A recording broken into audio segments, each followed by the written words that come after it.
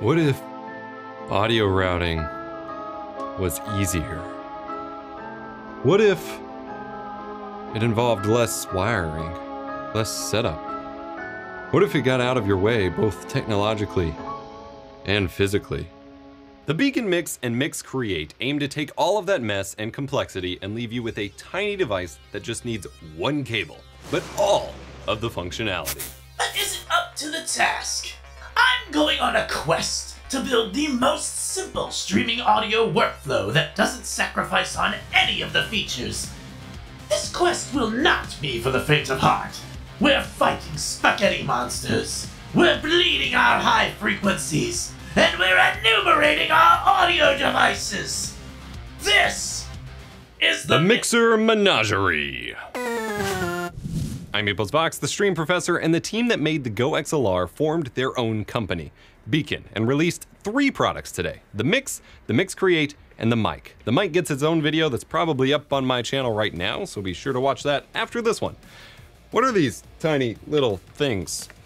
They look like toys. Are they really audio mixers? Well, no, actually. Mix might be in the name, but the BEACN Mix and Mix Create are audio controllers, not actual mixers. The difference is obvious when we transition from looking at the beautifully simple front of the devices with their knobs, buttons, and LCD display to the back where there's just a single USB Type-C port. Long USB-C to A cables are included in the box for both devices. But that's it. Only USB, no audio jacks. How does that make sense? The entire premise of the BEACN products are to be simple. The Mix and Mix Create are designed to enhance your audio workflow while you bring your own audio gear. Doesn't matter what microphone, audio interface, mixer, whatever you use, these little devices are supposed to be your control dials for it all. I don't want to use an XLR mic. Ugh. But I already have an audio interface. Why can't they just release the software without making me buy something else? I see the same cries every audio product release. The same people stoked for new features being developed that enhance their streaming workflow, but frustrated that it feels like a never ending upgrade cycle to make it work. And then you have people like me complaining in every review that products don't have speaker output. Let me use it with more complicated setups. Well, no more! Says Bacon, sorry, BEACN. Let's say you already have a streaming audio setup you like. A nice USB mic recommended by your favorite streaming professor, such as the HyperX Quadcast or maybe the Shure MV7 with the SM7B's windscreen. Your mic is fine. You have no interest in swapping to an XLR interface, but you want the ability to separate out your music, your voice chat, and your system sound to different audio tracks to be at different volumes for you and for your stream, or maybe to selectively only record certain tracks. The Mix Create is perfect for this. Much like the GoXLR or Elgato Wave devices, it adds a few virtual audio devices to your system to map your programs to, which is much simpler to do in Windows 11 than Windows 10, by the way, or can be improved with the Ear Trumpet app linked below. And then you can manage your volume differently for your stream and for yourself via submixes and have quick control of your levels and muting right at your fingertips. Unlike the GoXLR or Wave, the Mix and Mix Create don't require BEACN's microphone to use. You can add any audio input from any company or connection type to the microphone device channel. It won't add post-processing or anything to the device, but it can hook pretty much anything as your microphone or output devices. You can also add additional devices that exist on your system alongside virtual ones. Whatever you have, the Mix Create can manage. Though with pre-release software, I did trigger some DPC Watchdog blue screens on my main system with a driver conflict, but that's since hopefully gone away and probably being worked on. For some, controlling your levels with knobs rather than sliders, like the GoXLR, is more desirable due to the much smaller footprint they take up. This is the smallest multi-control surface for audio I've seen come across my desk thus far. But the knobs mean it's even more difficult to blindly reach over and know exactly where your levels are and adjust them. And honestly, the knobs don't feel amazing. They're kind of loose and wobbly when, when, when pressing in the knobs, you, you, you're guaranteed to change your levels a tiny bit. But the sensitivity and accuracy being read while they turn is pretty great, so any accidental change will be like a single volume level, which doesn't really matter that much. I wish they were tighter and provided haptic feedback of some sort, but I got used to it. Let's go simpler. What if you only want to stream at a super casual level, or you don't stream at all? Maybe the idea of just having greater control over your system sound is appealing. That's where the base BEACN Mix device comes in. It's the most basic and simplest sound controller workflow for Windows. It doesn't add any virtual audio devices and instead lets you drag and drop individual Windows applications listings to the device. You control the volume levels of individual programs rather than devices. If you don't need multiple separate audio tracks or submixes for content creation, this workflow is fairly similar, just easier. The mix lacks the mute buttons and page switching of the Create, but physically, they're otherwise the same device, which is why I feel having both is kind of pointless, not just as a user, but for BEACN re releasing them. I understand the desire to offer the simplest product possible, but the Mix and Create are separated purely by a software key rather than capabilities for the most part, and the product segmentation going on with feature sets to make them not eat into each other gets kind of absurd. IMO, they should have just launched one product priced between these two with the ability to add both audio devices and programs to the different knobs. Make it so you only add the virtual devices to Windows when you want them, so users can either have a simple controller workflow or a submix workflow and an easy win. As it stands, I feel that the mix is only useful for non-content creators, and its only purpose as a creator would be to accompany another device. This is made worse by the fact that the BEACN mic actually comes with the full Mix Create mixing suite. So while the Mix can act as a physical controller for the mic's devices, it downgrades the overall capabilities by way of not having submixes or finer control over the device, such as the separate voice chat mic device or knob paging and etc. The functionality and limitations of the basic mix are familiar and have me re-evaluating the PCPanel products again. I originally picked up the PCPanel Pro from the original wave at the end of 2020 and received it last spring, but quickly decided that even for my basic in-house gaming workflow, it was kind of useless. I liked the concepts, but I was never gonna develop muscle memory to remember the knobs and the buttons, and it just, it, it felt like it was halfway towards too many things. The sliders make up for the lack of screen when it comes to volume levels compared to the mix. However, if you have a PCPanel already, a label maker or some masking tape and a Sharpie would be much cheaper than upgrading to the mix. The PCPanel also lets you control OBS or run general hotkeys or control windows, more Stream Deck or Loupedeck like functionality than mm-hmm. just controlling your audio as well. So choosing between them comes down to your needs and what other tools you already have, you know, available or plan on buying. I feel the mix could pair well to expand the GoXLR or Elgato Wave or some other audio interface, but it does not stand on its own. What does stand on its own is backing track. Backing track is rock and metal music that you'd want to jam on in your car as much as your stream without needing to separate audio tracks and keep it off of Twitch. Backing Track is royalty free, stream safe, video and podcast safe, and free for you to stream at backingtrack.gg or download in our Discord server, and our growing library of kick ass music won't disappoint. Rock out your stream today. Yeah!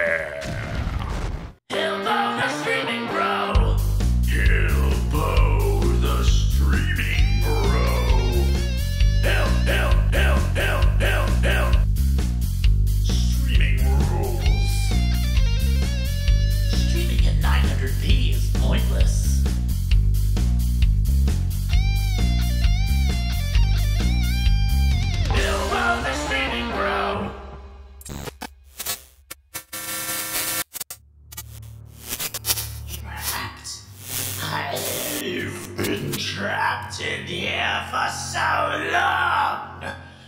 Every review, every glitch I post, I grow bored of this farce. No more. It's time for me to spread my wings and fly.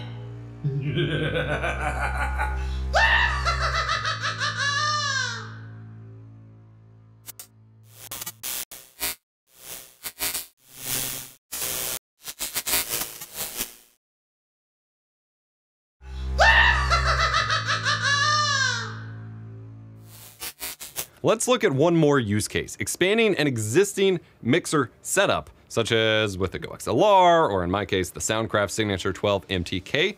Right before the GoXLR released, I bought this bad boy, a big $500 mixer that was, at the time, the only option below $1,000 that gave me multiple audio devices in Windows that I could route programs through and separate my audio tracks, while also offering me physical I.O. for connecting multiple PCs etc. I currently have it paired with my PreSonus IO24 audio interface. The IO24 runs my primary mic, while my mixer runs my secondary mic and connects up to multiple PCs and so on that I have at my desk, and outputs to my speakers and headphones, all of that.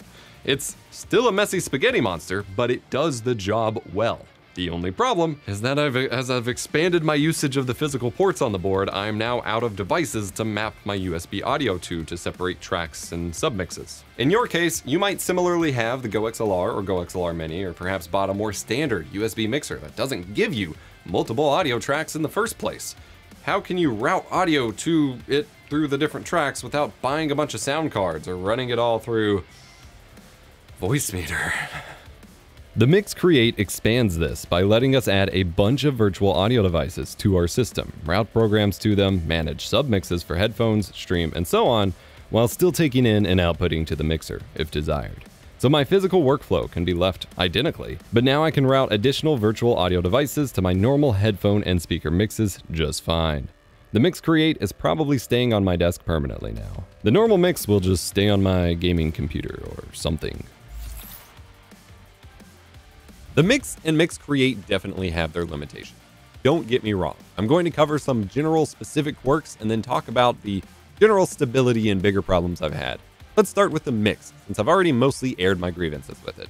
The Mix is entirely dependent on Windows' volume management, or for whatever reason, the Windows volume curve is kinda crash, and differences between volume numbers is minimal, and there can be scenarios where one is too loud and then obviously zero is nothing. This isn't the Mix's fault but this isn't a problem for the Mix Create, managing its own audio devices. The Mix is limited to controlling four knobs at once, meaning if you want to manage the volume of more than four programs at the same time, you need to either group them up under the same knob or buy another mix. The base mix does not allow for submixes at all, other than the toggleable swap between the two output devices. The Mix Create, on the other hand, lacks the easy drag and drop support that the Mix has.